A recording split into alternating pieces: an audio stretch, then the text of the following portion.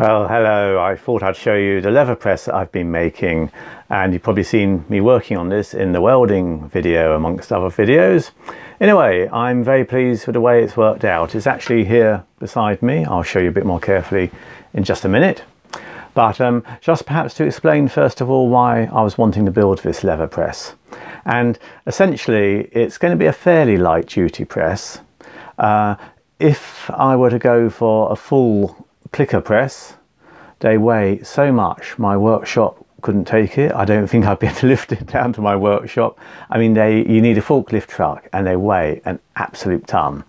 I want to be able to cut out small leather shapes.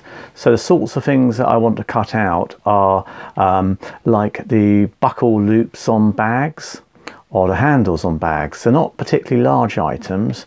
One of the things I do cut out quite a lot are these. They're Bucklehurst acorns. And I put my stamp on these, a little tab on, and attach them to bags. So I do have what's called a clicker cutter, a little cookie cutter, which um, essentially I provided some uh, artwork and then they pop it into a computer and they make these little cookie cutters. It's all very clever, high-tech CNC cut stuff. So it's an acrylic sheet and the little cookie cutter is there. And it's got a very sharp edge on it so it's a steel rule die knife basically. And the idea is you press that into the leather and it cuts it. So you get the hole and you get the item you want cut. So that's what the press is for. Fairly sort of light duty sort of stuff. I have estimated its pressure is something getting close to about five tons, but it's only a crude estimation and it seems very effective indeed. So let me perhaps show you a little bit more with the actual press.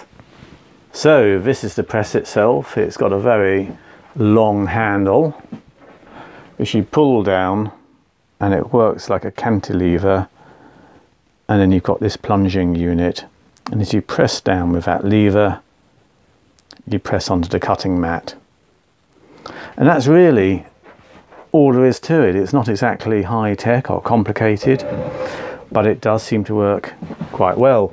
The actual construction, it's all pretty heavy duty sort of gauge plate and it's on a couple of girders as well. But let me actually just show you, if I take a piece of leather,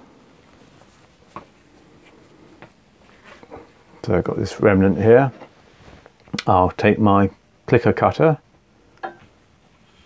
pop it on the bit of leather and then put it roughly central. Then as I pull down on the lever, you'll see it needs quite a bit of force. Oops, I don't know if I can do this holding a camera at the same time, but let me have a go. I had a click, so I think that's worked lift it up.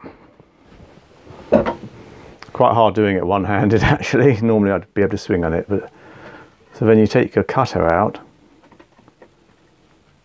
There we are. And you're left with the hole. And then on the actual clicker cutter itself,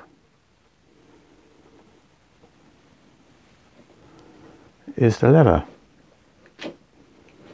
there you have the leather shape which comes out really rather well.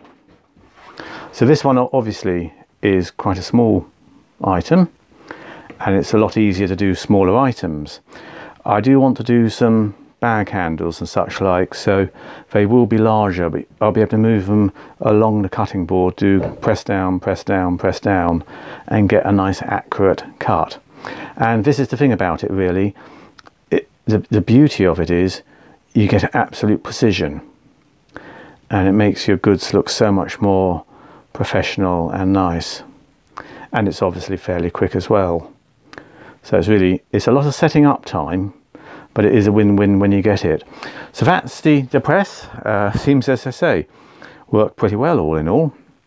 So what I'm going to do next I'm going to draw up some more um, plans or outlines for cutters I want and I'll probably send those off and get a a die making company to make them for me. So I've got a nice selection. Anyway, hope you enjoy seeing that. I will, I think, probably make some plans of this press. So if you think you might be interested in the plans, they'll be at the usual incredibly cheap Bucklehurst rates. I'll um, probably pop something up, but it will take me a day or two to draw up some plans. So I'll see if people are interested. I'll have a think about making up some plans. And um, well, yeah, any questions, just ask below. So thanks so much for watching. Bye bye.